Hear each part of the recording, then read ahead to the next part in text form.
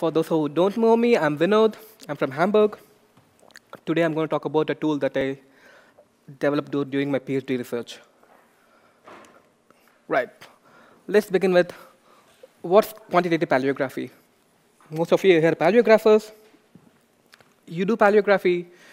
You probably come across this term, quantitative paleography. But what does it actually mean? it just means that, like, when people talk about paleography, they talk about features, right? You see a character, you see some paleographic features. The idea is like some of these features can be measured, right? It's not a new idea. It goes back like several decades. Lots of people have proposed it. The idea that when you measure something, you get a number, right? I see a character. I know that you know this character has like these three or four features or five features. If I measure them, I get four or five numbers that actually capture the essence of that character, right? Once I do that, these numbers are basically a replacement for my character. And based on these numbers,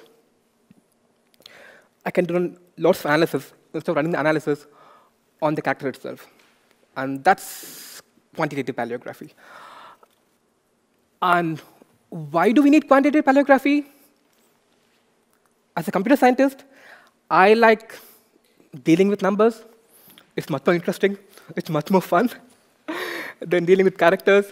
Uh, the idea is like when you have image, right, you can't do a lot of things with it, right? It's just a bunch of pixels on screen. But once you make them into numbers, you have this old, like, the subject of statistics that opens up that you can play with it. You can run different kinds of analysis. You can visualize different kinds of data in different ways that you don't expect to see, and it's much more fun. Right, uh, this is a code that I came up like, I think eight years ago when I was doing my PhD. Uh, when I was doing my research on my digital paleography, what I found was like, uh, people take the image and run their analysis on it, but they don't, for some reason, consider the ductus, right?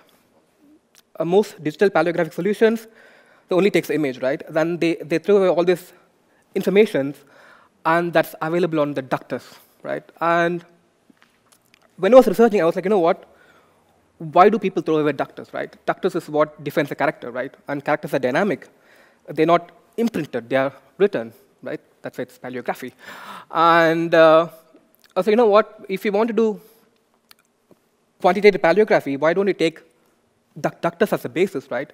And then use that information to like extract metrics. So before actually I go to the tool, uh, so based what we did was like uh, we developed a framework how to actually analyze the characters or like extract metrics uh, based on the ductus information. And the whole idea was like it's not automatic, right? Uh, it's not like you just plug in some a character and voila, numbers pop up.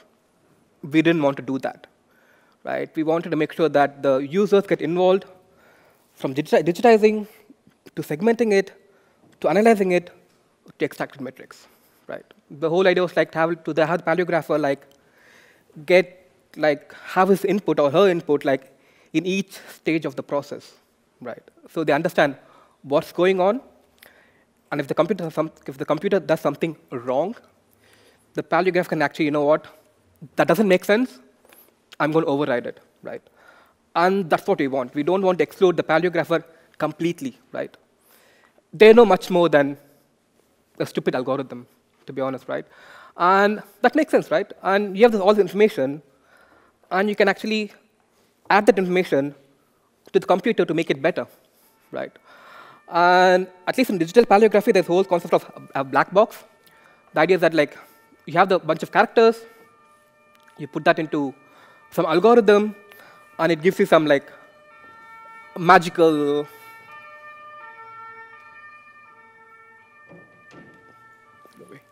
Uh, yeah, so you have this algorithm, you have these images, you put the images into the algorithm, it magically spews out the numbers. Nobody knows how, nobody knows what, what it means, right? And we wanted to avoid that. So we want to make something, something that people can understand, people can interpret, and people have ideas like what's going on inside. So, so we developed this framework called Script Analysis Framework. I didn't come with a nice name. Uh, so idea is like you take a character, you uh, let it go through like several steps, and at the final steps, you have some quantitative metrics that are important for the character, right? So you have like uh, first the image, you turn them into splines, you, you reconstruct the ductus, you segment them into strokes, and then you extract metrics. So we'll see them one by one. So the tools which I'm going to talk about, uh, it's called Script Analyzer. It's basically a, a digital manifestation of the framework. The framework is theoretical. The tool is what implements the framework. It was done in Python. It's open source. It's available in GitHub. It basically provides a, a graphical interface for the various steps of the framework. You can start from importing a glyph. At the end of the stage, you get metrics out of the, the glyph. Right. So the first step we do is like something called spline conversion. Uh, the thing is like most images that we have are like pixels. And pixels are like, at least for me, back then, pixels are like very complicated to deal with. You have all this noise. You have to, have to deal, have to smoothen it. It was a headache. So what I thought was, you know what?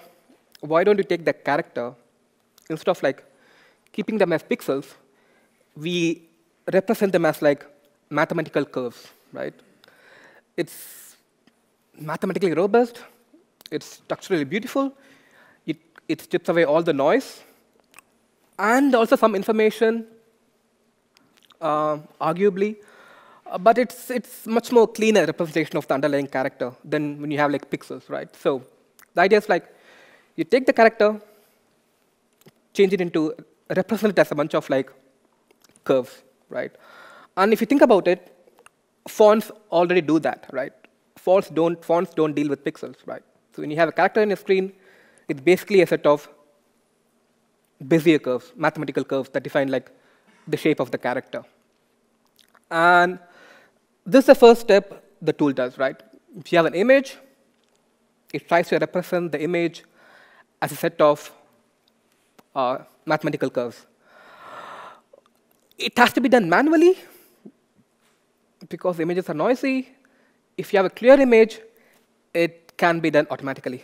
So, so this is how the tool looks like you import an image, and you try to, this, done, this does it automatically, right? It tries to detect the corners, it tries to detect, detect the edges, and the user has, just has to like fine tune the shape of the character.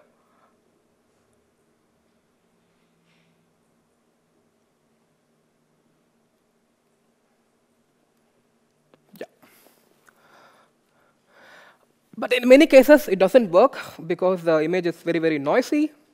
The system can't decide, like, where are my edges, where are my nodes. So in many cases, you have to, like, manually, like, create the edges and create the nodes. It's not too difficult. You double-click to create the nodes, and you kind of create connection between the nodes and create the shape of the character it does take a bit of time. Right. Um, yeah. So you have the shape of the character. Yeah. And the, the image on the right side, they're just mathematical splines. Right. So you have the image, and you have the mathematical representation of that image, just using curves. Right. I said the idea was like to make ductus as the base of the, all the analysis the problem is like when you have an image, you don't have the ductus, right? One way is to like to reconstruct the ductus, right? And writing is more or less deterministic. And there's concept of effort minimization. When people write something, they try to minimize effort required to write the character, right? And you have the you have some heuristics, right? Uh, like the direction of writing, Based on that, all those things, the system tries to like suggest you some possible ductus for the character. Of course, it could be totally wrong. So the system also allows to like people used to give their own ductus in case they don't agree with any of the ductus that's given by the system. Right. So you have a system, there's a character. You try to generate the different ductus. It gives you like five suggestions. You can visualize how the character is written.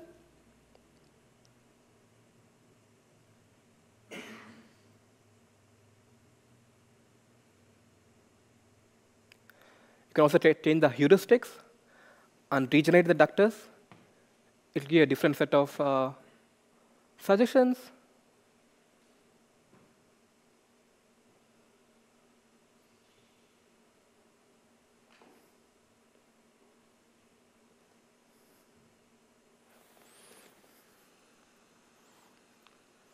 And I can think like, you know what, every, nothing that makes sense at all. I want to give my own ductus. You can also do that. So I just give my own ductus for system to analyze.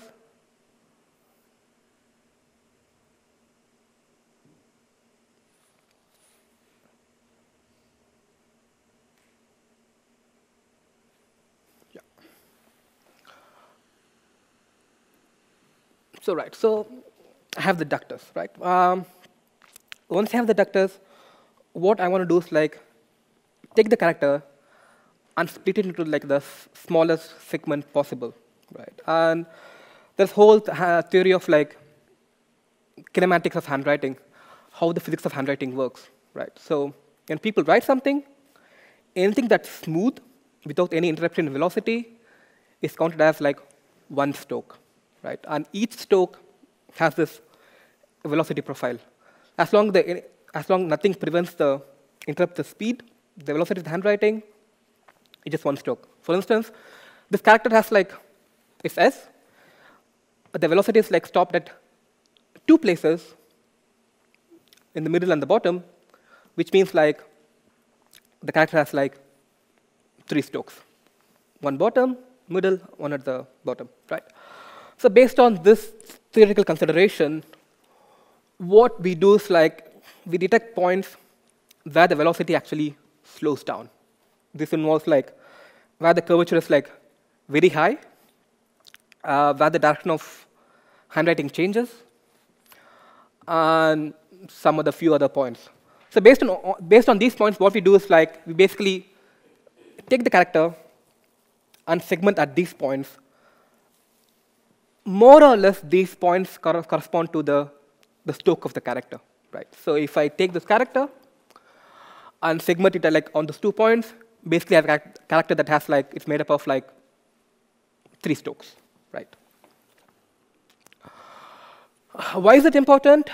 Uh, once you take a character based on the ductus, you break it down into like small strokes, you get the, you get the structure of the character, right? Uh, you know like how the strokes are related, you get the angle between the strokes, you get the internal structure of the character.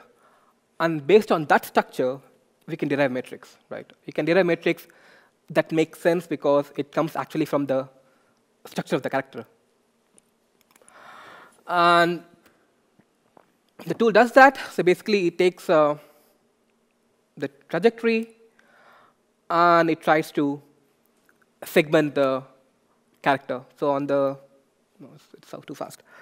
Let's wait for a bit. Yeah. On the right-hand side, you can see like a segment which is like red and uh, blue. As usual, some people may not agree like how the computer has, uh, has like segmented the character. If you don't agree, as usual, you can actually basically change and you know give your own segmentation. It doesn't have to be like you have to stick with like what the computer suggested to you.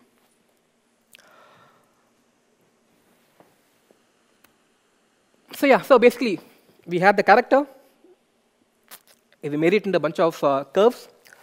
And we basically had the ductus. We broke it out into strokes. The last part that's remaining is like getting the metrics.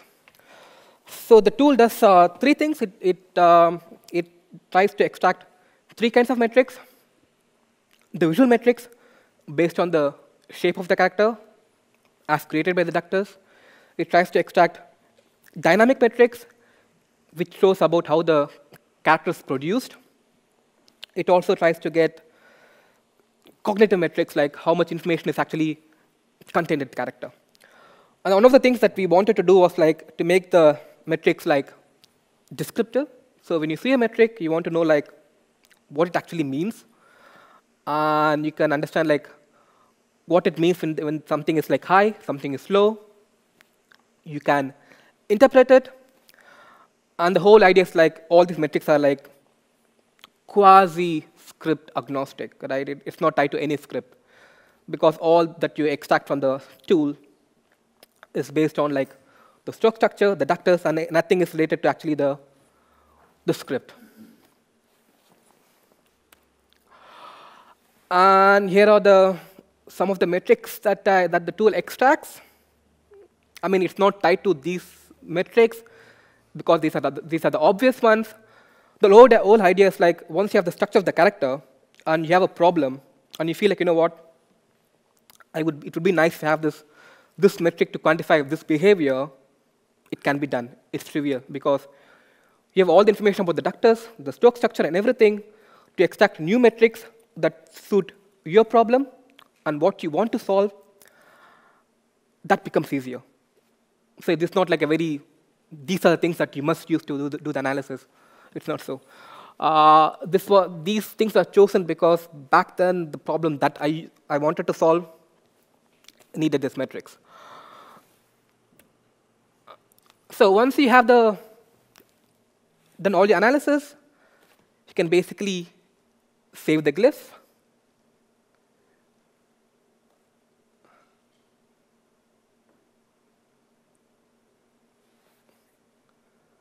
take some time.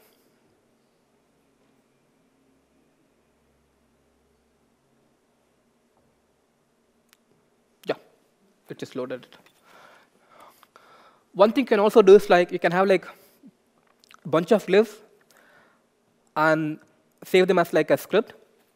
So you can see all the metrics like in one view. Yeah.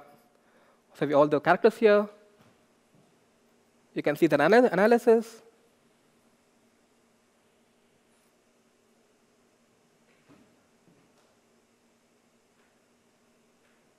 You can also add like a different set of script with different glyphs.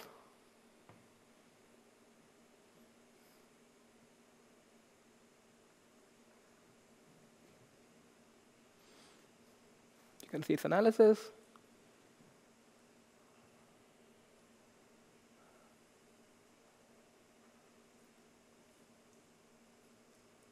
You should do something else as well. Yeah. You can also see the ductus just from it.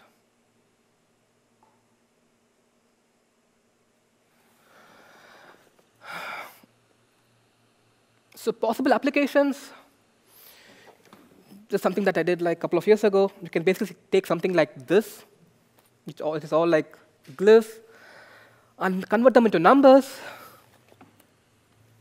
and create pretty graphs like this.